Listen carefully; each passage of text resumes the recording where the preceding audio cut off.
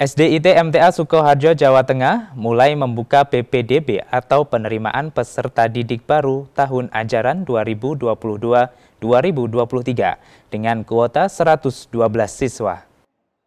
PPDB SDIT MTA Sukoharjo mulai dibuka pada Senin 6 Desember di gedung sekolah setempat yang beralamat di Dukuh Melangsen, Joho, Sukoharjo. Panitia menyediakan kuota sebanyak 112 calon siswa. Ustadz Dwi Arianto SPDI selaku Wakahumas dan juga Ketua Panitia memaparkan, PPDB digelar selama sebulan hingga 31 Desember mendatang, yang dibagi menjadi dua gelombang antara lulusan TK, MTA, dan reguler.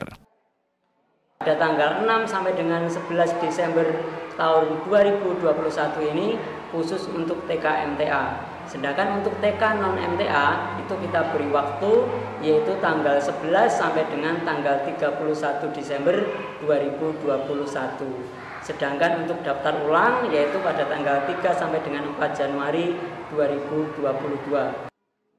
Adapun persyaratan umum yang wajib disertakan ialah mengisi formulir pendaftaran, mengumpulkan fotokopi KK dan akte, serta pas foto 3 kali 4 sebanyak dua lembar. Informasi lengkapnya masyarakat yang minat dipersilahkan menghubungi dan datang langsung ke sekolah.